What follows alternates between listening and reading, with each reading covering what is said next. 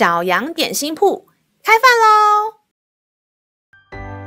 欢迎收听小羊点心铺。今天是星期四，我们今天要吃的是喜乐牛奶。神的话能使我们灵命长大，让我们一同来享用这段关于喜乐的经文吧。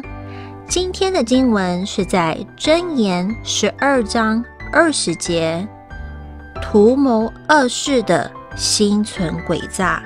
劝人和睦的，变得喜乐。亲爱的小朋友，不知道你有没有跟兄弟姐妹或是好朋友吵架的经验？还记得吵架的时候，你们的心情是如何呢？是吵输了觉得很怨恨，还是吵赢了觉得很快乐？其实不管吵输了、吵赢了，跟家人朋友吵完架后，一定都很失落、很不喜乐。即使自己没有参与在吵架中，只要周围的人有争吵，我们的心情也一样会被影响。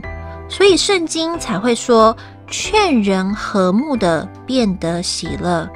所以当我们有怒气的时候，要想想看是否要发这个脾气。而周围的人开始有争吵时，我们可以试着去帮助他们，让我们大家生活在一个神所喜悦的环境中吧。让我们再一次来背诵这段经文，《箴言》十二章二十节：图谋恶事的心存诡诈，劝人和睦的变得喜乐。《箴言》十二章二十节：图谋恶事的心存诡诈，劝人和睦的变得喜乐。你都记住了吗？让我们一起用这段经文祷告。亲爱的天父，谢谢你提醒我们和睦是多么重要的事。求你帮助我们，在我们生气的时候，或是周围有纷争的时候，我们可以勇敢站出来做和平之子。